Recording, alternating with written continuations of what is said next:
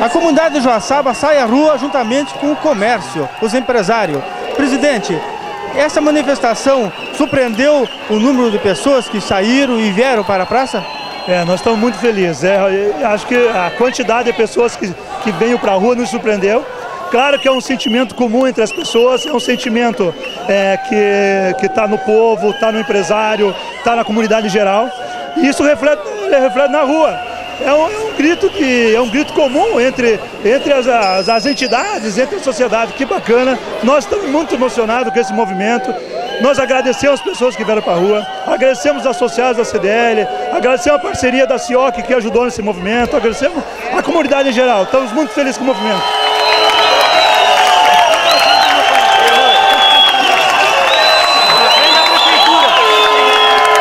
Vereador Junqueira o secretário de Educação participando da manifestação?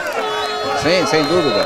Nosso país é um país de, de, várias ações, de várias atitudes e é um momento que o país está é, buscando uma alternativa para ele e nós não podemos sair na rua. A gente tem um rótulo partidário, especificamente o meu, mas nós não somos a favor da corrupção instalada nesse país.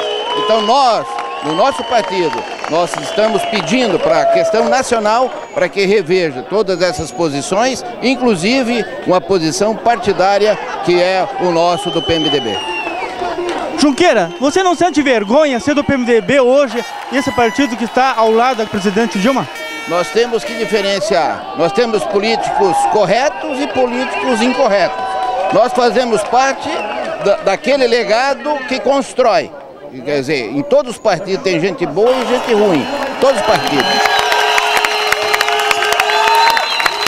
O empresário de Joaçaba vai para a rua também, fecha suas portas em favor desse protesto? É, eu acho que tem que ter uma agregação de todos os empresários, porque a carga tributária está grande, né? a corrupção está ah, enorme e estão negando que há corrupção. O próprio governo, os próprios governantes dizem que não tem nada a ver com isso. Então é uma mentira em cima da outra. Então eu acho que nós temos que dar a cara para bater e vir para frente e ver se isso muda, né? Se deixar continuar, a coisa vai piorar. O que traz o jovem à rua nesse protesto? Ah, melhoria de salário, baixar os impostos que ninguém aguenta mais pagar. Não dá para continuar assim. Seu Raul, como você ouviu esse protesto hoje aqui em Joaçaba?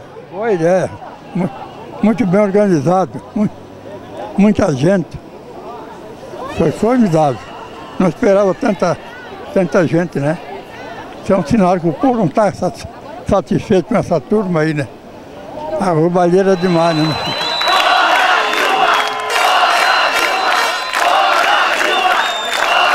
No manifesto de hoje, foi a contento? O número de público era esse esperado?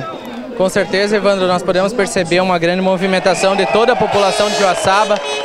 É, o pessoal veio realmente, o pessoal abraçou a causa e isso não vai parar por aqui. Esse é só o primeiro ato que nós estaremos fazendo e nós vamos continuar enquanto não mudar esse Brasil, nós vamos continuar se manifestando. Amanhã, às 15 horas, às 15 horas, está marcado mais um encontro aqui em frente à Prefeitura e logo após nós estaremos nos deslocando até a manifestação dos caminhoneiros junto à BR-282 em frente ao CPJ.